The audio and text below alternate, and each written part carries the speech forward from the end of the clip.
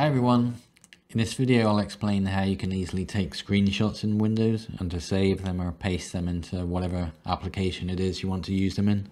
You might also hear some people refer to doing this as screen capture, but it's exactly the same thing. So for anyone who already knows how to do this, they'll know that it's really pretty simple. But if nobody's ever shown you how to do it, or maybe you're just not very technically minded, then it's probably not necessarily the most obvious thing in the world. But fear not, once you've watched this video for a couple of minutes, you'll be able to take screenshots yourself with no problem at all. There are several ways that you can take screenshots, but I'm just going to show you two very simple ways where you don't need to install anything or download anything. Everything you need is right on your computer already. The first method is just using the keyboard print screen key and the second method is using the Windows Ink workspace program. Okay, so let's get going. So just supposing we have something on this web page that we want to take a screenshot of. Let's find something interesting on here. Okay, let's use this. The first method I'll show you is super simple.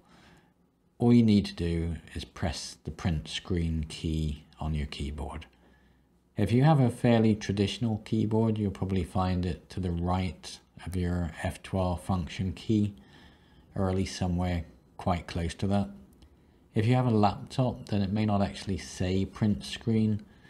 It may be abbreviated to PRT SCR or PRT SC, for example. But it will probably be on there somewhere. If you really can't find a key that looks like that, then it may be that one of your function keys is already set up to do the same thing in which case you may want to check out the manual for your laptop. No worries if you can't figure it out though, as the second method I'll show you doesn't rely on using the print screen key.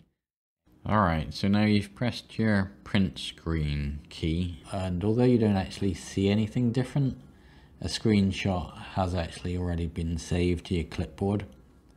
If you're not sure what I mean by clipboard, then just think of it as an area of your computer's memory where you copy and paste things to and from. So right now, even though you don't see the screenshot, you could go into some other application like a word processor or email and simply paste in the image directly from your clipboard and that'll work just fine. You don't have to save it in advance or anything.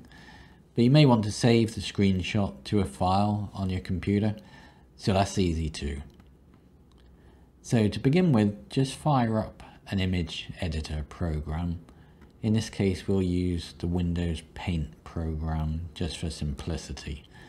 But you could save the image using all kinds of programs if you wanted. If you're not sure how to find the Paint program, just type Paint into the search bar there and you should see the option come up. Paint comes free with Windows, so it will be on there somewhere. Okay, so we're in the Paint program, and you can see the Paste button in the top left. All you need to do is just click on that button, and there's our screenshot.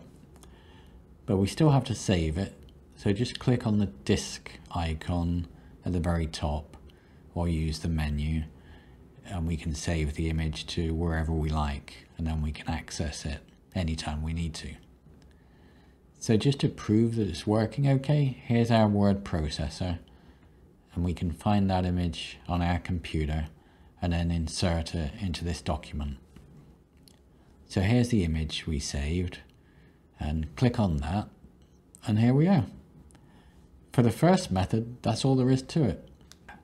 Okay, so that was the first method which is pretty handy, but it's quite basic as you don't have any ability to edit or crop the image before you save it. With the second method I'll show you, you can take a screenshot and just save a portion of it if you want to, or write on it, or any number of other things. The second method is popular to use on touchscreen devices because it's designed mostly to work with touchscreen devices and styluses but it still works just fine on other computers. And I find it can be pretty useful for editing screenshots before you save them. So this second method uses the built-in program called Windows Ink Workspace. This comes by default with Windows 10, but I'm not sure if it's available in prior versions of Windows or not. It could be, but I'm not certain. If you can see where my mouse is in the bottom right, you can hopefully see this little icon here. And if I click on it, then you'll see two options appear, whiteboard and full screen snip. If you don't see the icon in your icon tray there, then Windows Ink probably just needs to be made visible. All you need to do is right click on some empty portion of your taskbar and you'll see a list of options appear. Show Windows Ink Workspace button will be one of them. So just select that and the icon should appear. Okay, let's go back to our Formula One web page. This time we're going to use the Windows Ink program to do our screenshot. So just click on the Windows Ink icon in the icon tray next to the clock and select the full screen snip option which appears then you should automatically get the snip and sketch window open up with our new screenshot in it. You can edit the image quite a bit in here, but I'm just going to show you how to crop the image and how to save it. So to crop the image, just select this icon here, the square shape with a line through it, and you'll see the cropping tool appear. With this, you can select any portion of the image you want to save. If you want to get out of the cropping tool without changing the image, just click on the circular cancel icon in the top right. Okay, so let's just select the portion of the image that we want to keep. And this looks okay. Then all we do is click on the tick icon, which will take us back into the main editor again.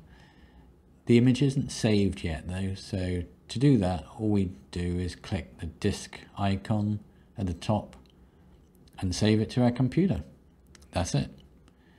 There are quite a few nice features in the Windows Ink program which you can use to edit your screenshots before saving them.